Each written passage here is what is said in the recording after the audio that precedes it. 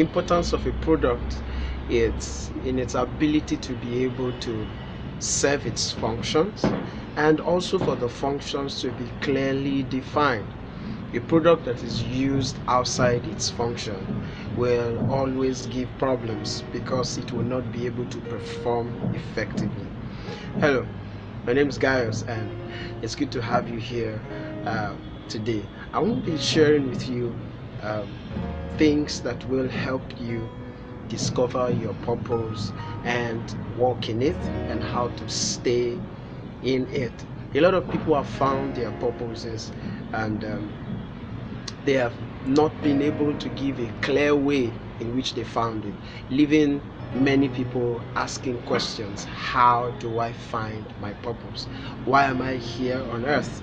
If you, as um, a human being, has never asked that question, it means that you have not come to a point where you feel that the world needs you if you keep taking from everybody and you're never giving back to the system, a time will come the system itself will eject you. I mean, people will not relate with you on the value basis because you are unable to deliver the value that you ought to offer to them. So it's important for you as a human being to know why you are here on earth. There is for every product a manufacturer's guide. The manufacturer's guide tells you um, the usefulness, the capacity, the limitations, the possibilities. It tells you things that are hidden in a product. Um, it tells you the instructions, the guidelines to use where not to use, how to use. You know, drugs always have a label, store in a cool, dry place. It means that if it would not perform its duties if you put it in a wet place and it will not perform its duty probably cause more harm than good if it's put in a hot um, temperature. So there is for every one of us a guideline an attached detailed blueprint of what your life should be. John 16, verse 13, uh, Jesus said to his disciples, says, After that, He, the Holy Spirit, howbeit when He, the Spirit of God, is come, howbeit when he, the spirit of truth, rather, is come. The spirit of truth is the spirit of details. It means that we have a blueprint in our lives, something that God has prepared for us to walk in you know, uh, First Corinthians chapter two verse nine says, "Eye has not seen, ear has not heard, neither has it entered into the mind of any man what the things that God has prepared for them that love Him." You know, and that scripture uh, that Paul quoted was actually from Isaiah 64, verse 4. It says, "For since the beginning of creation, for since the beginning of the world, no man has known except God the things that He has prepared for those who wait for Him." So, those who wait for God, um, according to Isaiah's writing, uh, was translated as those who love God, according to Paul's um, quoting of that verse. It means that there's a link between loving God and waiting for Him. In other words, um, the, the processes that come uh, that lead into finding your purpose and finding uh, the reason for which you are here on earth, your capacities, the things you are good at, are all tied to loving and waiting for God.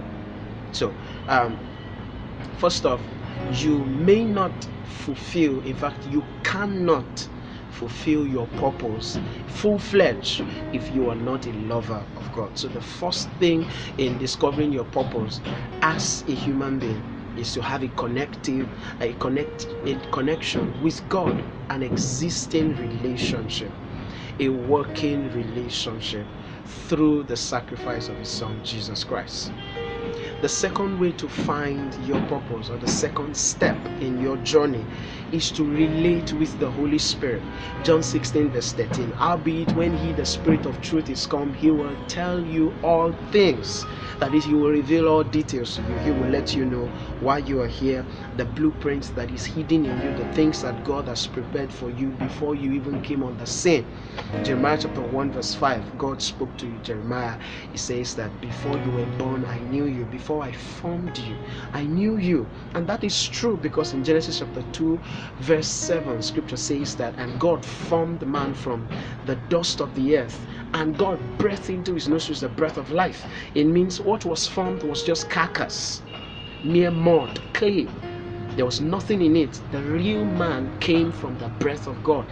So you are a product of the breath of God. You are a product of the inspiration of God. And everything that God that you needed for life and godliness according to Second Peter chapter 1 verse 3 it says according as divine power is given unto us all things that pertain to life and unto godliness it means that before you were formed the details, the resources, the finances, the the capacities, the the enablement, everything that you needed was hidden inside of you.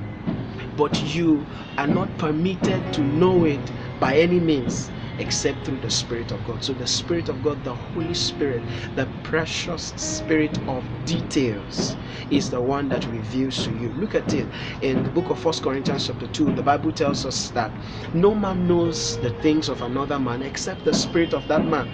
It says also that nobody knows the things of God except the Spirit of God, which means that the details that God has prepared for you, God kept it in His own Spirit. Ephesians chapter 1, verse 6. Ephesians 1, verse 6 says, According as his good pleasure, it pleased him to propose all things in himself. Look at that. It means that everything that has to do with your life, God proposed it. That is, God hid it in himself. The part of him that keeps it secret is the Holy Spirit.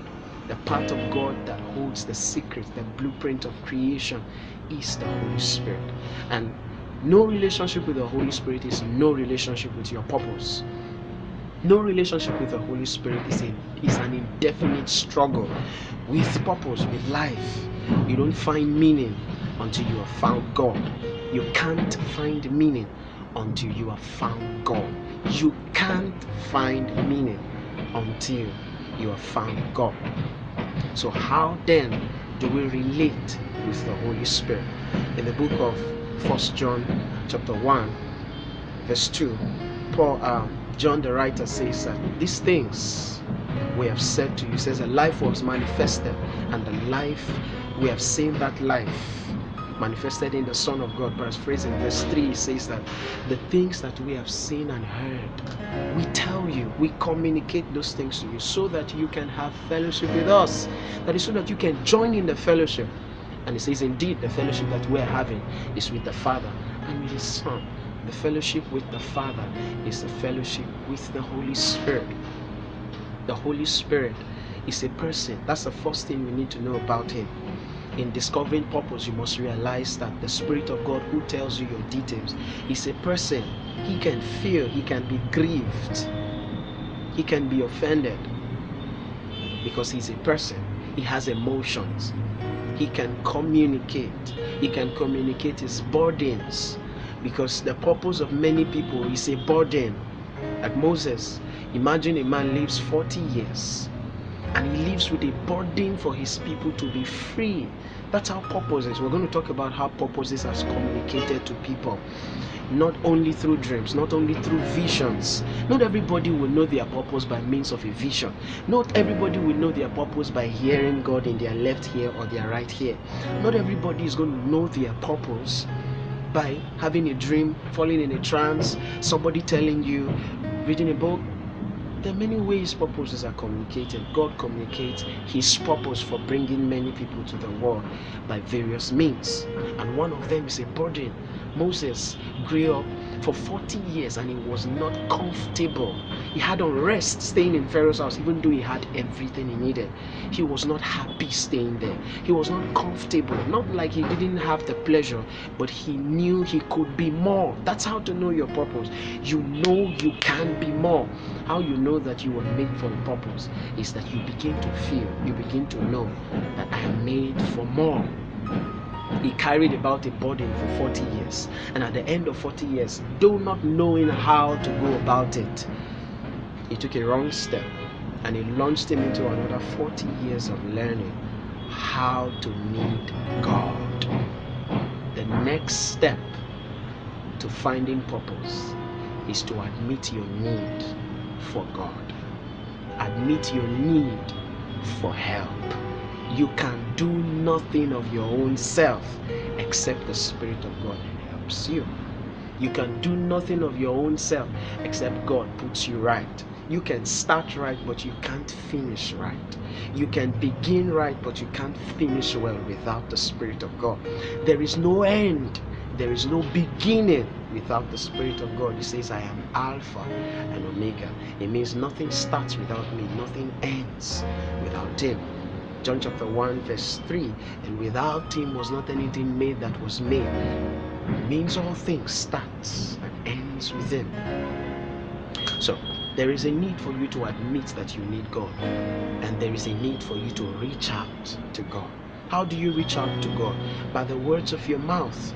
You need to admit in your heart that you need Him, and then you need to make a confession. Spirit of God, I need you. Show me. Show me how to walk. Show me how to talk. Show me what I was made for.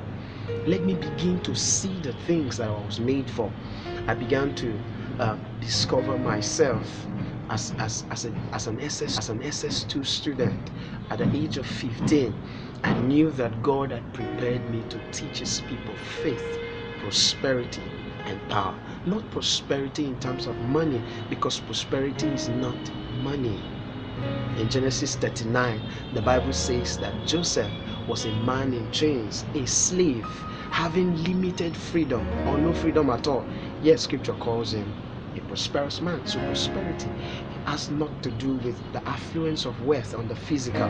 It has to do with the value system that a man can deliver from within. Your purpose begins from knowing yourself within. It begins from finding yourself, discovering yourself. You are not about to go on a, on a search of something that is not existent. You are about to discover something that already. Yes.